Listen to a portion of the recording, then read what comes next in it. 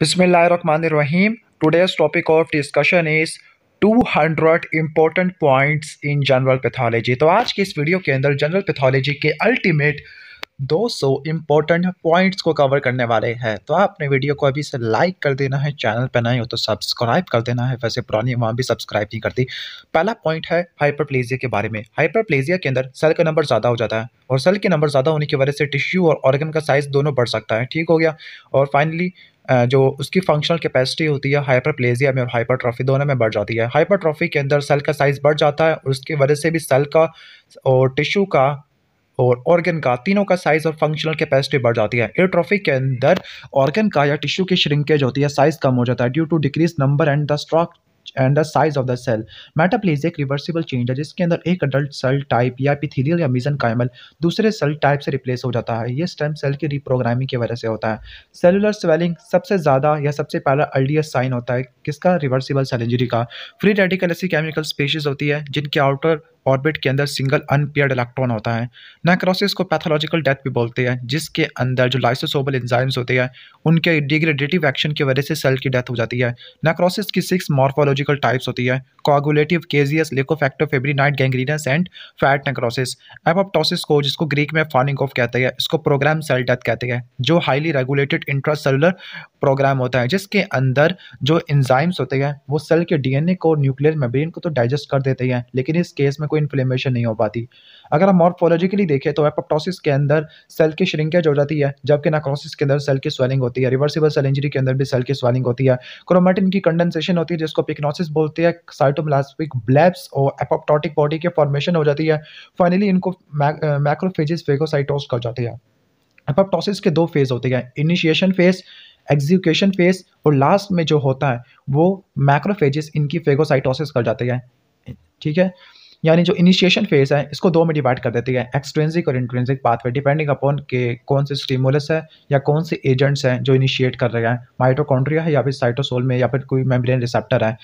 जी, ऐसे जीन्स जो एपोटोसिस को प्रमोट करते हैं प्रो अपोटोटिक जीन है तो बैक्स है बैक है और बीम है। ओके जो जीन्स इनहिबिट करते हैं, वो B C L two family होती है बी सी एल एक्सएल और एम सी एल वन होती है। इनिशिएशन जो इनिशिएटर कैप स्पेस होते हैं एट और नाइन होते हैं।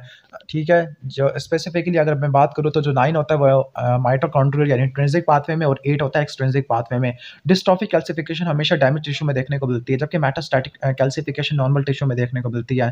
ठीक हो गया? लेकिन मेटास्टैटिक कैल्सिफिकेशन के अंदर हाइपर कैल्सीमिया होता है डिस्ट्रॉफिक कैल्सिफिकेशन के अंदर कोई हाइपर कैल्सीमिया नहीं होता नॉर्मल सीरम कैल्शियम लेवल होता है। इन्फ्लेमेशन एक कॉम्प्लेक्स रिएक्शन होता है to injurious agent like microbes है डैमेज है नेक्रोटिक सेल है। इसमें वेस्कुलर रिस्पॉन्स होता है सेलुलर रिस्पॉन्स होता है और सिस्टमिक रिएक्शन देखने को मिलते हैं।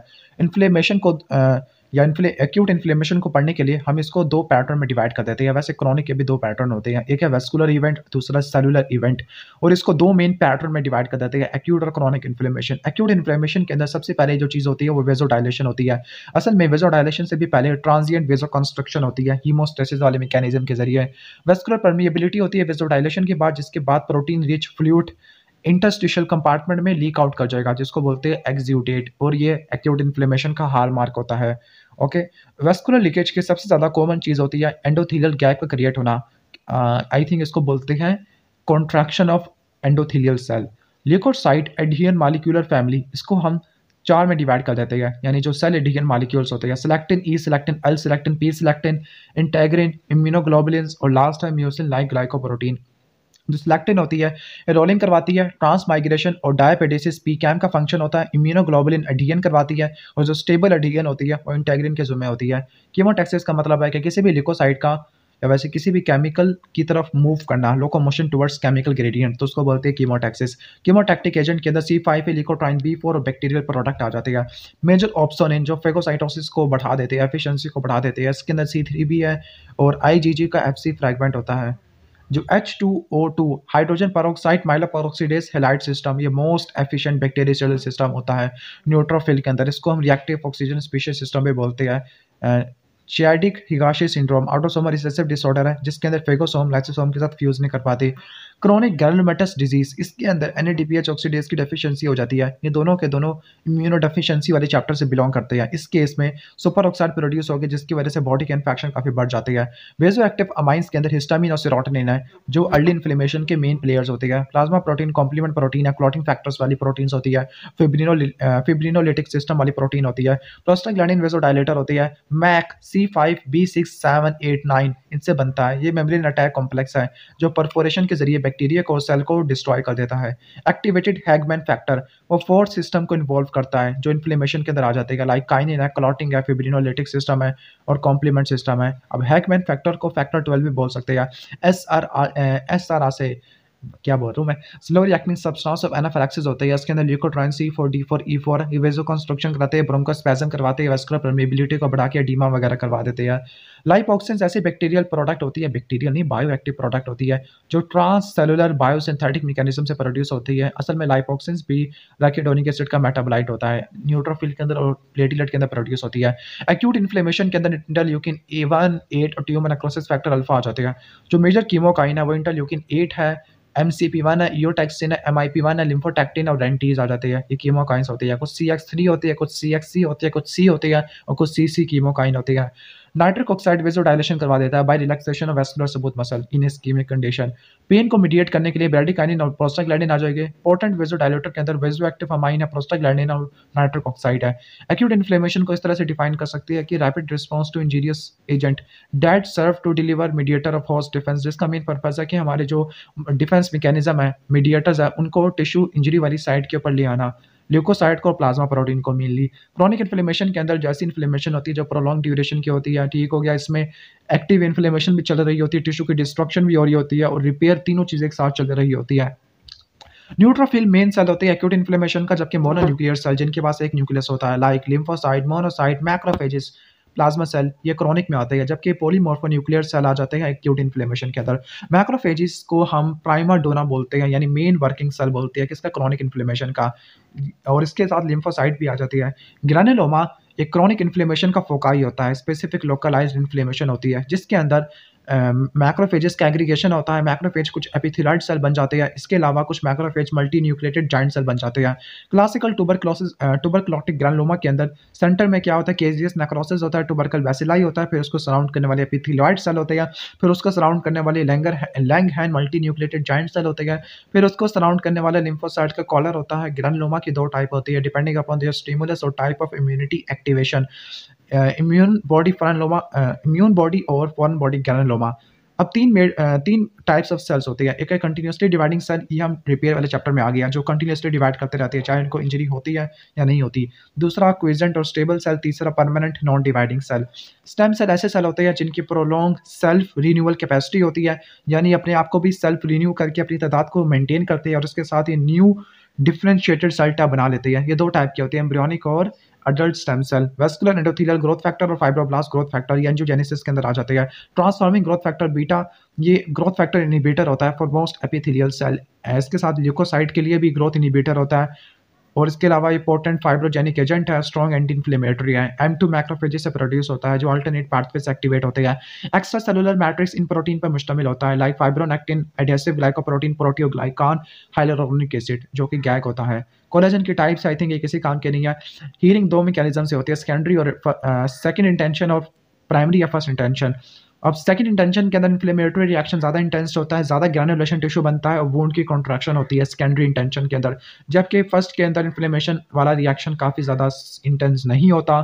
ग्रैनुलेशन टिश्यू कम बनता है और वूंड की कॉन्ट्रैक्शन नहीं होती। लीनियर स्कार मार्क होता है इस केस में, ठीक है? अगर कॉलेजन की एक्सेसिव अमाउंट के अंदर डेपोजिशन हो जाए या एकोमुलेशन हो जाए तो उसकी वजह से हाइपरट्रॉफिक स्कार हो जाता है। लेकिन अगर वो स्कार ओरिजिनल वूंड की बाउंड्री से कुछ ज़्यादा ग्रो कर गया और वो रिगरस में नहीं होता तो उसको किलोइड बोलते हैं। अडिमा का मतलब है कि increase accumulation of fluid in the interstitial compartment okay ठीक हो गया। और अगर ब्लड वॉल्यूम बढ़ जाता है लोकली किसी पार्टिकुलर टिश्यू के अंदर तो वहाँ पर हाइपरीमिया और कंजेशन हो सकती है। यानी किसी भी टिश्यू की तरफ़ ब्लड फ्लो को ज़्यादा होने की वजह से हम इसको दो टर्म्स के अंदर डालते हैं हाइपरीमिया और कंजेशन हाइपरीमिया एक्टिव प्रोसेस है, जबकि कंजेशन पैसिव प्रोसेस होता है। हाइपरीमिया के अंदर आर्टिकुलर डायलेशन की वजह से कंजेशन यानी ब्लड फ्लो ज़्यादा होता है, जबकि कंजेशन के अंदर वीनस आउटफ्लो ब्लॉक हो जाता है। Heart failure cells are hemosiderin laden macrophages होते हैं। क्रॉनिक पल्मोनरी कंजेशन के अंदर कुछ हीमोसिडन लेडन मैक्रोफेजेस एकोमुलेट होना शुरू हो जाते हैं, या तो उनको हार्ट फेलियर सेल बोलते हैं। Petechiae minute one to two millimetre haemorrhages होते हैं स्किन के अंदर, और अगर ये वन टू टू मिलीमीटर से ज़्यादा, यानी थ्री मिलीमीटर हो जाए तो उनको बोलते हैं पुरपुरा। और फिर अगर ये एक से लेकर दो सेंटीमीटर से भी ज़्यादा हो जाए तो उसको काइमोसिस बोलते हैं, यानी सब कुटेनियस हिमाटोमास को अगर वो एक से लेकर दो सेंटीमीटर हो तो उसको काइमोसिस बोलते हैं थ्री मिलीमीटर से ज़्यादा हो लेकिन वन से लेकर टू सेंटीमीटर से कम हो तो उसको पुरपुरा बोलते हैं, जबकि उससे छोटा हो तो पिटिचिए बोलते हैं। विर्शु ट्राइड के अंदर जो कि थ्रोम्बोसिस का एक हाइपोथेसिस था इसमें एंडोथीडल इंजरी आ जाती है स्टेसिस और टर्बुलेंट ब्लड फ्लो और हाइपर कॉगलेबिलिटी थ्रोम्बोसिस करवा सकती है। हाइपर कॉगलेबिलिटी के इनहेरिटेड कॉजेज के अंदर सबसे ज़्यादा जो कॉमन होता है, वो फैक्टर फाइव के अंदर म्यूटेशन होती है, प्रोथ्रोमिन जीन के अंदर। Lines of Zahn laminated lines होती है, जो अल्टरनेटिंग लाइन्स होती है, यानी पहले पेल लाइन आती है, फिर डार्कर लेयर आती है। जो पेल लेयर होती है प्लेटिलेट और फेब्रिन का मिक्सचर होता है, जबकि डार्कर लेयर के अंदर आरबीसी कंटेंट ज़्यादा होता है। थ्रोम्बस के चार फेट होती है propagation embolization dissolution organization and recanalization embolus एक डिटैच इंट्रावेस्कुलर मैस होता है, चाहे वो सॉलिड भी हो सकता है लिक्विड भी हो सकता है गैशियस मैस भी हो सकता है। इसको ब्लड किसी एक जगह से कैरी करता हुआ दूसरी जगह पर ले जाएगा। इस फिनोमिना को इम्बोलिज्म बोलते हैं। इन्फेक्शन स्कीमिक नेक्रोसिस का लोकलाइज एरिया होता है, या तो आर्टीरियल ऑक्लियन की वजह से, या वीनस ड्रेनेज के ऑक्लियन की वजह से हो सकता है पार्टिकुलर टिश्यू के अंदर। अब इन्फॉक्शन के अंदर मेजर जो हिस्टोलॉजिकल मॉर्फोलॉजी होती है इन्फॉक्शन के अंदर सिवाय ब्रेन के तो वह कॉगलेटिव नेक्रोसिस होती है सी के अंदर लिकोफैक्टिव नेक्रोसिस होती है। शॉक एक सिस्टमिक हाइपोपरफियन स्टेट है, या तो कार्डिक आउटपुट कम हो जाती है, या फिर इफ़ेक्टिव सर्कुलेटिंग ब्लड वॉल्यूम कम हो जाता है, इसकी वजह से हाइपोटेंशन हो जाएगी। हाइपोटेंशन के बाद टिश्यू की परफियन कम हो जाती है टिश्यू की परफियन कम हो जाएगी स्कीमिया हो जाएगा हाइपोक्सिया हो जाएगा, और फाइनली टिश्यू मर जाएगी। शोक की मेजर टाइप्स तीन होती है कार्डियोजेनिक हाइपोवोलेमिक और सेप्टिक जबकि तीन जबकि दो एक्स्ट्रा टाइप है माइनर होती है न्यूरोजेनिक एनाफिलैक्टिक है। Mutation permanent change in DNA sequence है। मार्फन सिंड्रोम कनेक्टिव टिश्यू का डिसऑर्डर है, जिसमें स्केलेटन में चेंजेस आना शुरू हो जाती है आइज़ में और सीवीएस में। मेन मसला होता है कि एक्स्ट्रा सेलुलर ग्लाइकोप्रोटीन फिब्रिलिन है, इसके जीन के अंदर लॉस ऑफ़ फ़ंक्शन म्यूटेशन आ जाती है। एहलर डेलो सिंड्रोम के अंदर हीट्रोजीनियस डिसऑर्डर आना शुरू हो जाती है, जिनके अंदर मेन मसला ये होता है कि या तो सेंथिसिस या फिब्रिलर कॉलेजन इसका स्ट्रक्चर खराब हो गया है।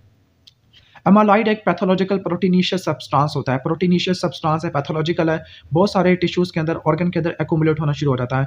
न्यू प्लाज्मिक एबनॉर्मल मैस होता है, जिसकी ग्रोथ काफ़ी ज़्यादा एक्सेसिव होती है अनकोऑर्डिनेटेड होती है आउटोनोमस होती है। यहाँ तक कि आप ग्रोथ फैक्टर को निकाल भी दो, तब भी ये ग्रो करता रहता है। ट्यूमर के दो बेसिक कंपोनेंट होते हैं पैरनकाइम और स्ट्रोमा और ट्यूमर बेनली दो टाइप का होता है बिनाइन और malignant benign tumour well differentiated होते हैं स्लो रेट ऑफ़ ग्रोथ काफ़ी ज़्यादा स्लो होता है इनवाइया नहीं होती मेटास्टेसिस भी नहीं होती।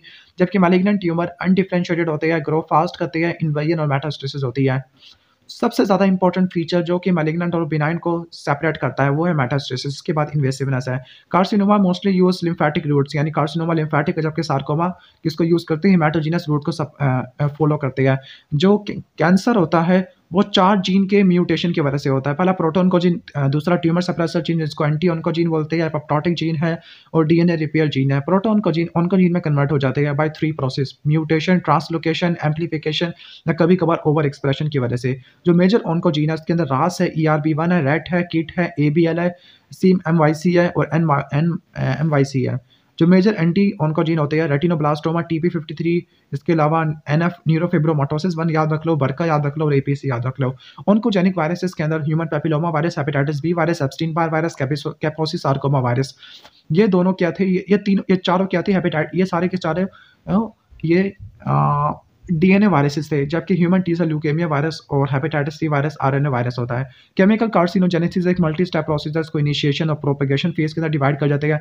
दो मेजर केमिकल कार्सिनोजेन है, जैसे एस्पेस्टोस मिजोथिलियोमा करवाते हैं एनिलिन डाई वगैरह, ये भी, ये ट्रांजिशनल कैंसर करवा देती है नाइट्रेट्स गैस्ट्रिक कार्सिनोमा करवा सकते हैं aflatoxin hepatocellular carcinoma vinyl chloride angiosarcoma करवा देते हैं radiation induce malignancy radiation UV भी हो सकती है, या यूवी तो अल्ट्रा और आयोनाइजेशन रेडिएशन भी हो सकती है, इसकी वजह से ल्यूकेमिया और पेपिलरी कैंसर हो सकते हैं। अगर आपको मेरी स्पीड तेज़ लग रही है तो फिर वीडियो को थोड़ा सा स्लो कर देना, क्योंकि मेरी मजबूरी है टाइम कम है और चीज़ें ज़्यादा है। पैरान्यूप्लास्टिक सिंड्रोम के अंदर मेजर एग्ज़ाम्पल है Cushing syndrome syndrome of inappropriate ADH hypercalcaemia hypoglycaemia by fibrosarcoma okay polycythaemia by renal cell carcinoma hypertrophic osteoarthropathy जिसको क्लबिंग बोलते हैं। ट्यूमर मार्कर काफ़ी इंपॉर्टेंट है। Like H C G choriocarcinoma का होता है कैल्सिट्रोलिन मेडुलरी कार्सिनोमा थायराइड का होता है अल्फ़ा फिटोप्रोटीन हेमाटोसेलुलर कार्सिनोमा का होता है non seminomatous germ cell testis का ट्यूमर होता है कार्सिनोम ब्रियोनिक एंटीजन कोलोन कैंसर का होता है प्रोस्टेट स्पेसिफिक एंटीजन प्रोस्टेट का होता है C A one twenty five ovarian cancer का होता है, जबकि नाइनटीन पॉइंट नाइन कोलोन और पेनक्रियाटिक का होता है C A fifteen point three ये ब्रेस्ट का होता है। Major immuno marker for epithelial tumour तो एपिथीरियल ट्यूमर के लिए जो मार्कर्स होते हैं, वो साइटोकैराटीन मेजन काइमल के लिए वेमेंटिन होते हैं। फॉर ल्यूकोसाइट ऑरिजन ट्यूमर के लिए ल्यूकोसाइट कॉमन एंटीजन होते हैं S hundred neural origin tumour के लिए और स्केलेटल मसल ट्यूमर के लिए डेस्मेन होता है।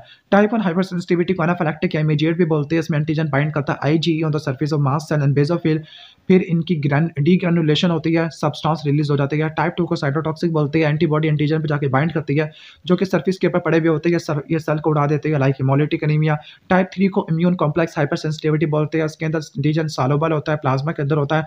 एंटीबॉडी एंटीजन का कॉम्प्लेक्स होगा। फिर इसके बाद कॉम्प्लीमेंट को एक्टिवेट करेंगे, फिर आगे इम्यूनिटी या इम्यूनोलॉजिकल रिएक्शन आना शुरू हो जाते हैं। Type four hyper sensitivity reaction को डिलेट हाइपर सेंसिटिविटी बोलते हैं। ये sensitize C D forty lymphocyte की वजह से भी हो सकता है या डी सी डी एट की वजह से भी हो सकता है, ठीक है? ओके जो इम्यून रिएक्शंस होते हैं उनको दो ब्रॉड कैटेगरी में डिवाइड कर जाते हैं, यानी सेल मीडिएटेड इम्यूनिटी और हिमोरल इम्यूनिटी हिमोरल इम्यूनिटी के अंदर एंटीबॉडी की प्रोडक्शन होती है और ये रिस्पॉन्स होता है मेनली सालोबल एंटीजन के अगेंस्ट जबकि सेल मीडिएटेड इम्यूनिटी के अंदर जो C D four positive helper cell और C D eight positive T cell होते हैं साइटोटॉक्सिक और हेल्पर सेल आना शुरू हो जाते हैं। मेजर हिस्टोकम्पैटिबिलिटी कॉम्प्लेक्स तमाम न्यूक्लिएटेड सेल के ऊपर पड़ा हुआ होता है, जो एच सिस्टम है, ये ट्रांसप्लांट रिजेक्शन के रिएक्शन को मॉनिटर करता है। जो रिएक्शन होती है, वो टी लिम्फोसाइड या एंटीबॉडी दोनों की वजह से हो सकती है। टो लाइक रिसेप्टर ऐसे मेम्ब्रेन प्रोटीन होती है, जो बहुत सारे माइक्रोब्स के कॉमन पैटर्न को क्या करती है? सेंस करती है और ये इनेट इम्यून सिस्टम को एक्टिवेट कर देती है। C D four molecule high affinity receptor होता है for H I V H I V डबी C D four positive helper cell को उड़ा देती है। मेजर आउटोम्यून डिसऑर्डर के अंदर हशिमटम थायरोडाइटिस है यूमेडाइड आर्थराइटिस है शॉगरन सिंड्रोम है अल्काई एनकाइलोसिंग स्पॉन्डाइलाइट स्पॉन्डाइलोटिस है। गैमा इंटरफेरॉन ये वो साइटोकाइन है जो मैक्रोफेज को एक्टिवेट कराता है टी लिम्फोसाइट की वजह से नेचुरल किलर सेल से प्रोड्यूस होता है। इसकी वजह से ग्रैनुलोमा की फॉर्मेशन होती है। साइटोकाइन वो मीडिएटर होते हैं जो एक सेल से प्रोड्यूस होते हैं दूसरे सेल के एक्शन को मॉड्यूलेट करते हैं। स्क्वेमस सेल कार्सिनोमा को किस तरह से कैरेक्टराइज करते हैं? By sheets by groups by cluster of pleomorphic malignant cell यानी ये मलिग्रेंट ट्यूमर की करेक्टरिस्टिक्स बता रहे हैं। पेलियोमॉर्फिक होते हैं high nuclear to cytoplasmic ratio होती है हाइपरक्रोमेटिक न्यूक्लियस होता है पेल साइटोप्लाज्म होता है कैराटिन एपिथेलियल पल्स होती है इंटर सेलुलर ब्रिजेस होते हैं इंडिविजुअल सेल केराटिनाइजेशन भी देखने को मिलती है। एडिनोकार्सिनोमा इसको छोड़ो किसी काम के नहीं है। दो टाइप की वैक्सीन इंक्लूड ये एक लाइव वैक्सीन है फॉर एग्जांपल मीजल्स के लिए मम्स के लिए रूबेला के लिए वेरिसीला के लिए, जबकि किल्ड वैक्सीन होती है, ये भी रोबेल रेबीज पोलियो और हेपेटाइटिस ए के अगेंस्ट होती है। जब प्रोटोन को जिनकी गेन ऑफ़ फ़ंक्शन म्यूटेशन होती है तो ये उनको जीन बन जाती है। P fifty three D repair और पप्टोसिस को स्टिमुलेट करवाता है। रेटिनोब्लास्टोमा जीन एक्टिवेट करता है और हाइपोफॉस्फोरिलेटेड स्टेट में सही तरह काम करता है। रास जीन प्रोटोन को जीन ये जी बाउंड प्रोटीन होती है। ये G T P S activating protein के साथ मिलकर काम करती है। ओके ग्लायोमास और जो basal cell carcinoma highly malignant होते हैं, लेकिन ये मेटास्टाइज नहीं करते। जीपी मेटास्टाइज नहीं करता। Acid fast bacillus mycobacterium tuberculosis की बात कर रहे हैं। जो मेजर कॉम्प्लीमेंट प्रोटीन होती है like opsonization C three B की वजह से होती है सी थ्री ए सी फाइव ए ये एनाफ्लाटॉक्सिन होती है कीमोटैक्सिस सी फाइव ए की वजह से होती है मैक मेम्ब्रेन को उड़ा देता है और एंटीबॉडी के रिस्पॉन्स को बढ़ाने वाली सी थ्री बी वही ऑप्शनाइजेशन वाली बात हो गई है। F N A C fine needle aspiration cytology और बायोप्सी एफ़ की इन्वेस्टिगेशन होती है अर्ली डायग्नोसिस ऑफ़ ट्यूमर के अंदर। एक्टिव इम्यूनिटी वो इम्यूनिटी होती है, जब फॉरन एंटीजन का कॉन्टैक्ट होता है फॉर एग्ज़ाम्पल माइक्रोब्स का या इम्यूनाइजेशन किया है विद लाइव वैक्सीन है, या माइक्रोबल प्रोडक्ट का एक्सपोजर है, जबकि पैसिव इम्यूनिटी के अंदर आप बनी बनाई एंटीबॉडीज वगैरह को ले लेते हो। Sudden death is linked with embolism embolism की वजह से सडन डेथ हो जाती है। Twenty four to forty eight hours post acute inflammation यानी एक्यूट इन्फ्लेमेशन के एक से लेकर दो दिन के बाद मोनोसाइड की एकोमुलेशन होना शुरू हो जाती है। यूबिक्विटिन प्रोटियोसोम सिस्टम और ऑटोफेजिक वैक्यूल इनकी वजह से ट्रॉफी होती है। रिज़र्व स्टेम सेल मेटाप्लेजिया के अंदर काम करना शुरू कर देते हैं। मैकेनिकल और ट्रॉफिक फैक्टर हाइपरट्रॉफिक करवा देते हैं। इरोजिनोफिल एलर्जी के अंदर आ जाती है। एक्यूट इन्फ्लेमेशन के स्टेप्स क्या होते हैं? पहले ट्रांसिएंट बेजो कंस्ट्रक्शन होती है, फिर बेजो डायलेशन होती है स्टेसिस होती है मार्जिनेशन होती है रोलिंग होती है डीएन होती है डायबिटिस होती है कीमोटेक्सिस होता है फेगोसाइटोसिस होता है। इनके स्टेप्स को याद रख लेना। मैक्रोफेजिस रेटिकुलो एंडोथीलियल सिस्टम का पार्ट होते हैं। लाइक बोन के अंदर ऑस्टियोक्लास्ट ब्रेन के अंदर माइक्रोग्लाया लीवर के अंदर Kupffer cell sinus histiocyte lymph node और सेप्लिन के अंदर लंग्स के अंदर एल्विलर मैक्रोफेजिस ट्यूबरक्लोसिस पाकिस्तान के अंदर ग्रानुलोमा की फॉर्मेशन करवाता है, पाकिस्तान का नेशनल डिज़ीज़ है। मेजर ग्रानुलोमेटस कॉजेज के अंदर सार्कोइडोसिस है लेप्रोसिस है कैट स्क्रैच डिज़ीज़ है फंगल इन्फेक्शन है। जो ट्यूमर की ग्रेडिंग होती है, वो डिफ्रेंसिएशन की बेस पे होती है, और उसके अलावा टिपिकल माइटोसिस के बेस पे भी होती है। स्टेजिंग तीन चीज़ों पर डिपेंड करती है टी के ऊपर। मेजर आउटोसोमल डोमिनेंट डिसऑर्डर है लाइक स्केलेटल के अंदर मार्फन सिंड्रोम है नर्विस के अंदर हॉन्टिंगटन न्यूरोफिब्रोमाटोसिस है ओके इसके अलावा जो हम कह सकते हैं जीआईटी में फैमिलियल पोलिपोसिस है यूरेनियम में पॉलीसिस्टिक किडनी डिज़ीज़ है, वैसे आउटोसोमल भी हो सकता है। अब major intracellular accumulation like pigments की एकोमोलेशन हो सकती है लाइक मेलानिन है ओके बाइल की एकोमुलेशन होती है तो उसको कोलिस्टेसिस बोलते हैं कार्बन की एकोमुलेशन होती है तो उसे एंथ्राकोसिस बोलते हैं कॉपर की होती है तो विल्सन डिज़ीज़ बोलते हैं लाइपोफिसिना तो वो एजिंग को इंडिकेट करता है। फैटी चेंज को स्टीटोसिस बोलते हैं पॉइंट म्यूटेशन केमिकल या malfunction of DNA replication की वजह से हो सकती है। या फिर आपने सिंगल न्यूक्लियोटाइड को एक्सचेंज कर दिया फॉर एग्ज़ाम्पल रास के अंदर, जो जॉइंट सेल ऐसे सेल होते हैं, जिनके अंदर एक से ज़्यादा न्यूक्लियस होते हैं। मेजर जॉइंट सेल की एग्ज़ाम्पल दे रही है। फॉर एग्ज़ाम्पल लैंग हैंड जॉइंट सेल क्लासेस में होते हैं टूटान जॉइंट सेल जेंथोमा में होते हैं। Warthin Finkeldey giant cell measles के अंदर होते हैं रीड स्टनबर्ग सेल हॉचकिल नेफोमा में होते हैं। Foreign body giant cell foreign body granuloma के अंदर होती है। आईजीजी और आईजीएम दोनों के दोनों कॉम्प्लीमेंट फिक्सेशन करती है। आईजीजी प्लेसेंटा को क्रॉस करती है। आईजीएम हैवी एंटीबॉडी होती है। IgE allergic reaction player antibody होती है। आईजीए सिक्रेशन के अंदर होती है। एबीएल जीन ट्रांसलोकेट हो जाता है। क्रॉनिक माइलोसिटिक ल्यूकेमिया के अंदर ठीक हो गया। लाइन्स ऑफ़ जान थ्रोम्बस को कंफर्म करती है, जबकि अल्टरनेट लाइन्स होती है किसकी? प्लेटिलेट फेब्रिन की। आरबीसी के साथ सेमोमा बॉडी लेमिनेटेड बॉडी होती है। डिस्ट्रॉफिक कैल्सिफिकेशन को अंडरलाइन करती है। ठीक है? Specifically in the papillary carcinoma of thyroid इसके अलावा मेनजियोमा और मेलेग्रेंट ट्यूमर ऑफ़ ओवरी में भी देखने को मिलती है। न्यूक्लियर चेंजेस नेक्रोसिस के अंदर पिकनोसिस कैरियोडेसिस कैरियोडेक्सिस और लॉस ऑफ़ न्यूक्लियस होता है। मैक्रोफेजिस रिकरेंटमेंट प्रोलिफरेशन और इम्बोलाइजेशन के बाद क्रॉनिक इन्फ्लेमेशन में एकुमुलेट होना शुरू हो जाती है। स्कीमिक नेक्रोसिस कॉगुलेटिव नेक्रोसिस करवा देती है।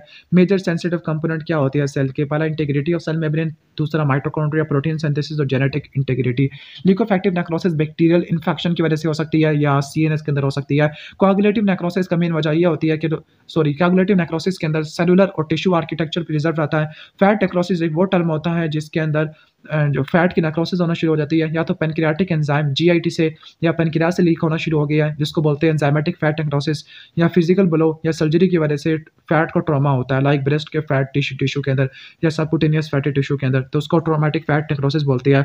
केजियस नेक्रोसिस चीज़ लाइक होती है, इसमें कोगुलेटिव नेक्रोसिस की डिस्टिंक्टिव फॉर्म देखने को मिलती है माइकोबैक्टीरियम इन्फेक्शन के अंदर, या ट्यूमर्स न्यूक्रोसिस जिसमें कोगुलेटिव टिश्यू टिश्यू को रिजेंबल नहीं कर पाता। गैंग्रीन दो टाइप की होती है ड्राई और वेट ड्राई में कोगुलेटिव और वेट में लिकोफेक्टिव नेक्रोसिस चलती है। ठीक हो गया। जो फिब्रिनाइड नेक्रोसिस होता है, ये वाल और ब्लड वेसल के अंदर देखने को मिलता है, जहाँ पे एंडोथीलियम और समूथ मसल की इंजरी होती है और डेथ भी हो जाती है। अगर हम नेक्रोसिस को एपोप्टोसिस से कंपेयर करते हैं तो apoptosis highly control regulated process होता है। Extrinsic pathway of apoptosis initiate होता है through the stimulation of transmembrane death receptor जबकि इंट्रेंसिक पाथवे इनिशिएट होता है through the release of signalling factor by mitochondria males के अंदर ब्रोंकोजेनिक कार्सिनोमा और फीमेल के अंदर ब्रेस्ट कार्सिनोमा टॉप पे है। वैसे बेल्स में प्रोस्टेटिक कार्सिनोमा ज़्यादा कॉमन है। जो डेथ होती है, वो ब्रोंकोजेनिक कार्सिनोमा की वजह से होती है। Paraneoplastic condi sorry preneoplastic condition में cirrhosis of liver atypical hyperplasia leukoplakia inflammatory bowel disease adenomatous ये चीज़ें लिखी हुई है। इनिशिएटर केमिकल है कि वो डीएनए को इरिवर्सिबल डैमेज प्रोवाइड करते हैं। प्रोमोटर केमिकल जो डीएनए को इंड्यू कैंसर इंड्यूस नहीं करते, बल्कि वो प्रोपगेट करते हैं या इनिशिएटर के इफ़ेक्ट को इन्हांस कर देते हैं। ठीक हो गया। एस्पेस्टोस की वजह से लंग कैंसर मिजोथिलियमा हो सकता है बेंजीन की वजह से ल्यूकेमिया हो सकता है कैडमियम की वजह से प्रोस्टेट कैंसर है आर्सेनिक की वजह से स्किन और हिमेंजियो सार्कोमा है आयोनाइजेशन रेडिएशन की वजह से डिसजंक्शन हो जाती है रैंडम फ्यूजन होती है म्यूटेशन हो जाती है। एक्सपोयर होता है अगर रेडिएशन का लॉन्ग टर्म में तो ल्यूकेमिया और थायराइड कैंसर हो जाते हैं। मास सेल्स हिस्टामीन और का मेजर सोर्स होते हैं, जबकि प्लेटिलेट सिरोटिनिन का सोर्स होता है। थ्रोम्बोक्सिन ए टू प्लेटिलेट के अंदर से प्रोड्यूस होता है। प्लेटिलेट की एग्रीगेशन कराता है वेजो कंस्ट्रक्शन करवाता है हीमोस्टेसिस को प्रमोट कर देता है। ठीक है? ओके प्रोस्टासाइक्लिन प्रोड्यूस होता है वेसल वाल में प्लेटलेट की एग्रीगेशन को वेसल की एग्रीगेशन को मिनिमाइज करता है वेजो डायलेशन करवा देता है। सुपोरेटिव या पुरुलेंट इन्फ्लेमेशन इसके अंदर पल्स और पुरुलेंट एक्जिडेट की प्रोडक्शन ज़्यादा हो जाती है। अल्सर एक लोकल डिफेक्ट होता है या एक्सकवेशन होती है सर्फिस की। ठीक हो गया? That is produce by sloughing और shedding of inflammatory necrotic tissue teratoma ऐसा ट्यूमर जो एक से ज़्यादा जर्म लेयर से डिराइव होता है। सेमिनोमा मेलानोमा हिमाटोमा जिनके आखिर में ओमा तो आ रहा है, लेकिन ये मेलिग्नेंट ट्यूमर होते हैं।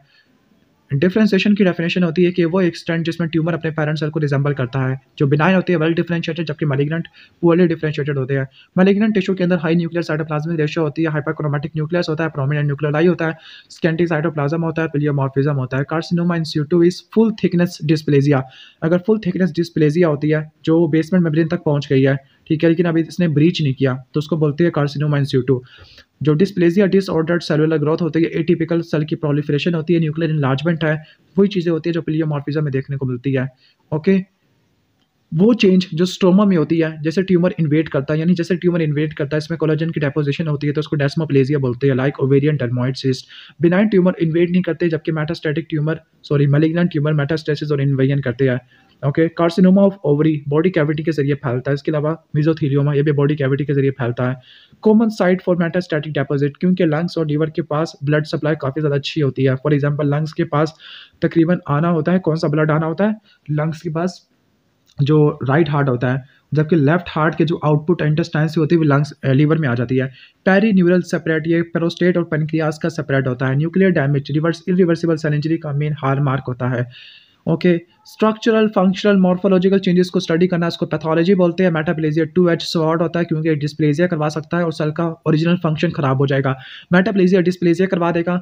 ओके यहाँ अगर हम कहते हैं कि एट्रोफी सेल के बाद डिमिनिश फ़ंक्शन तो हो जाता है, लेकिन वो मरते नहीं है। पैथोलॉजिकल हाइपरप्लेजिया एक फर्टाइल सोइल प्रोवाइड करता है, जिसमें कैंसर अच्छे तरीके से प्रोलिफरेट कर लेते हैं। Like benign prostatic hyperplasia endometrial hyperplasia dysplasia regress कर सकता है और वो हमेशा कैंसर नहीं करवाता। ट्रांसड्यूडेट ऐसा फ्लूड की एकोमुलेशन होती है, जो असल में साल्ट और वाटर होता है ओके और ट्रांसड्यूडेट नॉन इन्फ्लेमेटरी एडिमा होता है, जबकि एक्सड्यूडेट प्रोटीन रिच फ्लूड होता है due to leaky vessel disseminated intravascular coagulation के अंदर क्लॉटिंग फैक्टर कैस्केड एक्टिवेट हो जाती है ओके और इसमें प्लेटलेट की और क्लॉटिंग फैक्टर की कंजप्शन हो जाती है तो थ्रोम्बोसाइटोपिनिया हो सकता है ओके और ब्लीडिंग वगैरह भी हो सकती है। कुछ लोग थ्रोम्बस को रिज़र्व करते हैं एंटीमार्टम के लिए, और जो पोस्टमार्टम है, उनको सिंपल क्लॉट्स बोल देते हैं। Arterial thrombi ruptured atherosclerotic plaque के ऊपर देखने को मिलती है। वेजिटेशन क्या होती है? ऐसे थ्रोम्बाई जो कि हार्ट वेल्व के ऊपर होते हैं। ये बैक्टीरिया से भी लॉडेड होते हैं, जिसकी वजह से बैक्टीरियल एंडोकार्डाइटिस हो सकते हैं स्टीराइल भी हो सकते हैं लाइक मेरेंटिक विरोशियस ब्लैंड वाला ओके जो इम्बोलस होता है, ये ग्रीक से निकला है, जिसका मायने है बॉटल स्टॉपर ठीक है? पल्मोनी इम्बोलाइजेशन ये ग्रेट किलर होता है हॉस्पिटलाइज पेशेंट का। पैराडॉक्सिकल इम्बोलस या क्रॉस इम्बोलस ये वो इम्बोलस होता है, ठीक है? जो सिस्टमिक वेन से निकलता है, लेकिन ये right to left intracardiac shunt से पास करता हुआ किसी सिस्टमिक आर्टरी को ऑक्लूड कर देता है। लोग बोन फ्रैक्चर फैट इम्बोलिज्म करवा देते हैं ट्यूमर इम्बोलिज्म ये असल में कैंसर के पार्टिकल्स होते हैं जो किसी वेन को इन्वेट कर देते हैं ओरिजिनल सेल कार्सिनोमा में काफ़ी कॉमन होती है। वाइट इन्फॉक्शन को इन एनीमिक इन्फॉक्शन या पेल इन्फॉक्शन भी बोलते हैं। ये सॉलिड ऑर्गन के अंदर आर्टीरियल ओक्लियन की वजह से होती है। रेड इन्फॉक्शन को हेमरेजिक इन्फॉक्शन बोलते हैं। जब वेन्स की ओक्लियन होती है या अगर कैसे ऑर्गन जिनके पास डुअल ब्लड सप्लाई है लाइक लीवर है लंग्स है ओके तो इनके ओक्लियन की वजह से होते हैं। मोनोसाइट ब्लड स्ट्रीम में सबसे ज़्यादा लार्जर सेल होते हैं। वैसे न्यूट्रोफिल ज़्यादा थे। हिस्टियोसाइट मेचोर टिश्यू मैक्रोफेजेस होते हैं स्पेसिफिकली जो साइनस वाले होते हैं लिम्फ नोड और सप्लिन के अंदर होते हैं। Cell membrane damage reversible cell injury का सबसे पहला साइन होता है, जबकि रिवर्सिबल का सेलुलर स्वेलिंग होती है। लाइसोसोमल लीकेज ये भी रिवर्सिबल सेल इंजरी को कन्फर्म कर देता है। कोरिस्टोमा हिमाटोमा न्यूप्लाज्म नहीं होते। एफ़ जी एफ़ ये सारे के सारे ग्रोथ फैक्टर होते हैं। एंडोथीलियम लीकी हो जाती है एक्यूट इन्फ्लेमेशन में due to endothelial gap cytoskeletal reorganisation transcytosis endothelial injury leukocyte dependent injury और delayed prolonged leakage and leakage from new blood vessel अगर आपको वीडियो अच्छी लगी है तो वीडियो को लाइक कर देना चैनल हो तो सब्सक्राइब कर देना। मिलते हैं नेक्स्ट वीडियो में, तब तक के लिए अल्लाह हाफ़